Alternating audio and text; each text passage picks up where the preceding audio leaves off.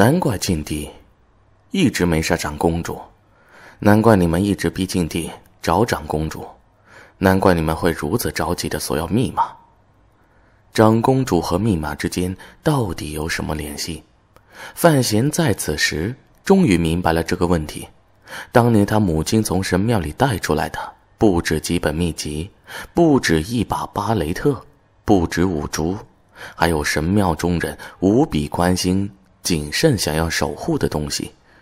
而现在，这个东西就掌握在长公主的手中，这也就可以解释神庙为什么要胁迫庆帝，然后又扶持庆帝，因为他们不知道叶青梅将密码和那东西放在了哪里，贸然出手只会让叶青梅发觉，由此来让那东西变得更加危险。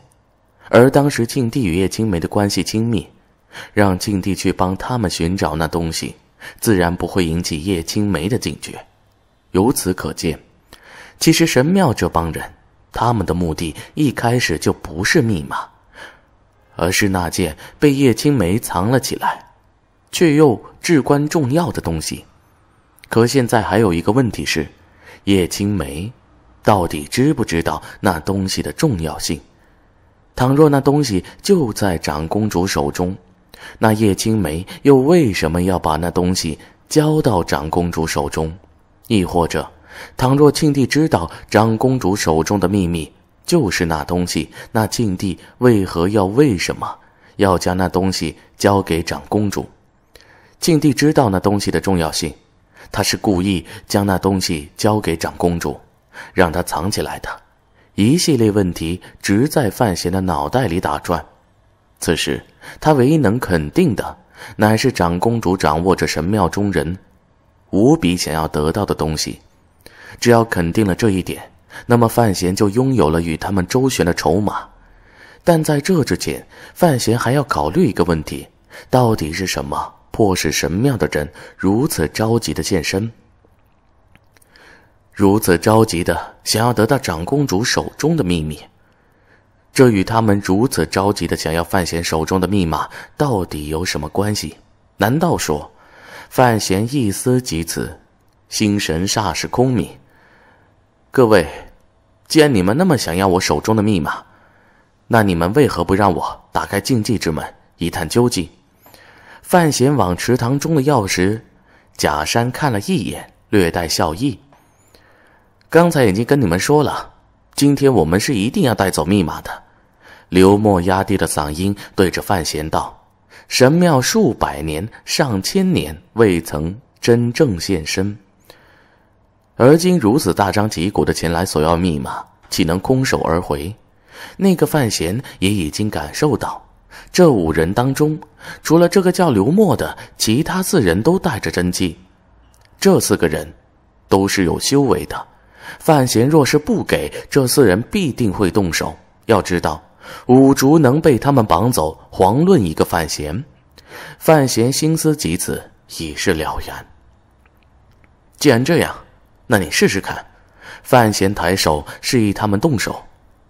密码是不可能交出去的，这辈子都不可能交出去。如果神庙这些人执意要抢夺，范闲也不介意与他们动手。毕竟到了这种地步，一切道理与权谋。都见显得毫无意义，但范闲有胜算吗？没有，范闲没有一点胜算，因为他完全看不透对面这四个有修为的人的深浅。可即便如此，范闲仍旧选择硬碰硬。你以为我们不敢？这时，张子昂再度开枪，眼睛里尽是蔑视，他的那种优越感几乎没有丝毫掩饰。看范闲的时候，完全是用一种看低等动物的眼神。或许对他而言，只有神庙中的人才能勉强算作是人。范闲，你要想清楚，晋帝拿你没办法，并不代表我们拿你没办法。五竹我都能搞定，更何况是你？刘默给了他最后通牒，同时也承认了五竹的失踪的确与他们有关。而听到这话，范闲脸色顿时骤变。你们把五竹说怎么了？话音落下，范闲体内的真气已然开始翻滚。五竹可以说是他母亲一脉最后一个亲人。倘若五竹有事，范闲绝对不会放过神庙中的任何一个人。五竹本就是我们神庙的，他离开神庙多年，我们只是将其带回去而已。你放心，只要你交出密码，我们可以把五竹还给你。刘默见范闲神色，语气一下子缓和起来，似乎摸到范闲的命脉，整个人一下子自信了许多。他的话，给了范闲一种不对劲的感觉。至于哪里不对劲，范闲一时半会儿又无法确定。只觉得他口中的五竹似乎变成一件东西，但范闲此时却无法深思刘默这话里的不对劲儿，因为他现在要面对的是刘默提出的这个交易：密码换五竹。对不起，我已经和庆帝达成协定，只要我给他密码，他就把皇位让给我。范闲摆手拒绝：“哼，范闲。”还做着皇帝梦呢，在这世界里活了二十多年，真被同化了。当皇帝，你咋不上天呢？快交出来，不然我现在就送你去见你妈。张子安已然不耐，话到后面，恼羞不已，眼看便要动手，可就在这时，第一个开口说话的墨镜中年人忽地转过身，啪。一个响亮的耳光落在张子昂的脸上，转身出手打脸，动作一气呵成，行云流水。不知道的还以为是经过训练的。张子昂不料自己居然被打，猛然了一下，而后立刻往后退开一步，垂首以待，像极了做错事后被教训的孩子。禁忌之门关系着拯救人类未来的秘密。也是唯一的法门。这些刚才刘经理已经说了，我们现身劝你交出密码，那是因为我们觉得你拥有一个现代人的思想，应该知道怎么做，而不是跟我们讨价还价。我这个人没什么耐心，也不喜欢有人跟我讨价还价。你最好识趣点，不然刚才那一巴掌会落在你的脸上，到时候弄得大家都尴尬。那就没什么意思了。这个墨镜中年人显然是个狠角色，刚才与范闲打招呼的是他，与范闲用商业的口吻询问的也是他，先礼后兵放狠话的还是他。比起张子昂，这种人才是狠人，异常危险。别看他一番话说的滴水不漏，但其实其中已经杀意暗藏。只要范闲一个应对不适，此人必定雷霆出手。范闲被逼到悬崖边上，摆在他面前的只有一个选择，那就是与这个叫刘墨的人交易，用密码换取五竹。但范闲有一个问题没想明白，那就是他们为什么要用一个假五竹来杀自己，而且还差点就成功了？难道只是为了引诱自己来到这里，然后他们好抢密码？如果是这样，他们大可以用真的五竹，毕竟真的五竹对范闲的诱惑力更大，犯不着用一个假的五竹，不是？用假五竹，岂非变相说明他们并未真正的掌控真五竹？想到这里，范闲稍微心安，但还是要面对当下的这个选择。看来谈判已经没有什么意义了。既然这样，动手吧。话不投机半句多，没有什么是动手不能解决的。暴力虽不能解决一切，但至少能解决当下的问题。范闲，我本没打算如此，但为了全人类的未来，我也不得不这么做。动手！刘墨话音落下的瞬间，以那个中年人为首的四人立刻朝范闲包抄了上来。四人行动之迅捷，绝不在九品之下。可就在四人即将对范闲形成彻底包围之际，一道利剑划破长空，无声无息，快如闪电。咻！只听见剑矢穿过身体的声音传来，张子昂便捂着自己的胸口倒了下去。范闲还没来得及反应，第二支剑再度来袭。散开！刘默站在人群后面，大喝一声。那中年人闻声，当机立断，用脚将地上的张子昂一挑，然后快速躲避，剑矢堪堪划过他的衣襟。庆帝，你胆敢背叛神庙！刘默怒吼，声震惊雷。能够射出如此精准、伤害如此之大的箭矢的人，当今世上除了庆帝，再无他人。范闲说什么也是朕的儿子。你们想要动他，先问过朕。声音落下，庆帝手持一张弓，站在别院房顶上。北风掀起庆帝的裙摆，吹乱了他本来就乱糟糟的头发。但却并未影响他一如既往的王者风范。伤我儿子，你找死！中年人暴怒，放下张子昂后，立时奔雷而动，双脚在地上猛地一蹬，整个人恍如一只大雕飞起，直向庆帝扑去。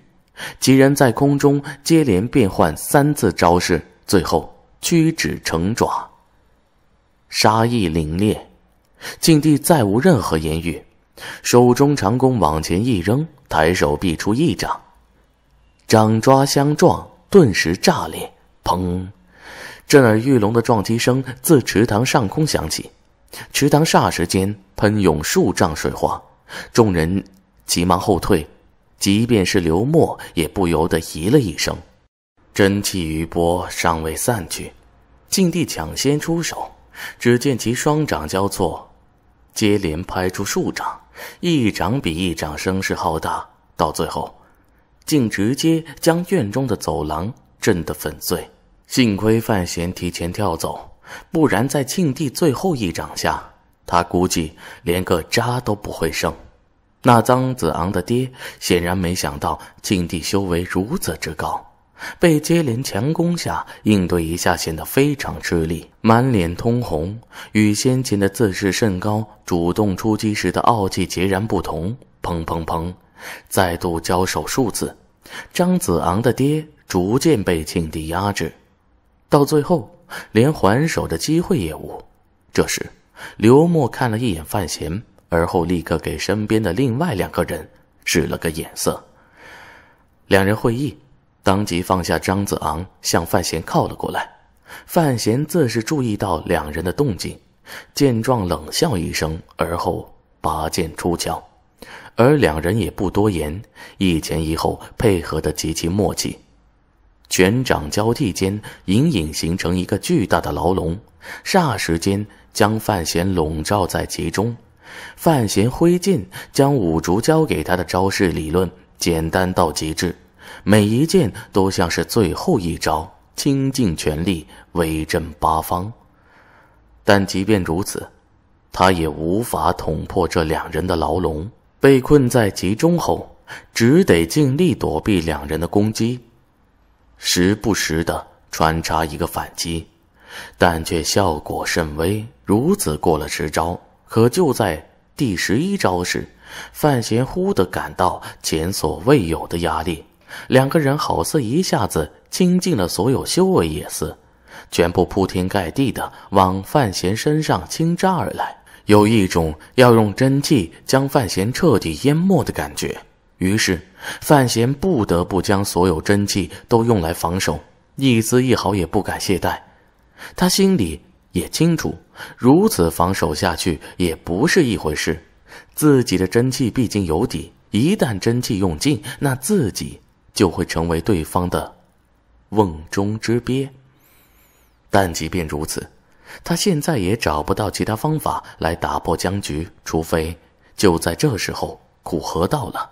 苦荷的入场恰如猛虎下山，九霄飞龙，浩荡真气霎时间席卷整个别院，气势磅礴，瞬间将两人的牢笼所击破。